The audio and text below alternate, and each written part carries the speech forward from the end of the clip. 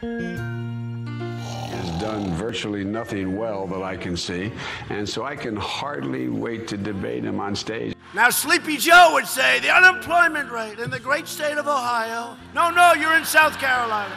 I want, I want people to see me standing next to him and him standing next to me.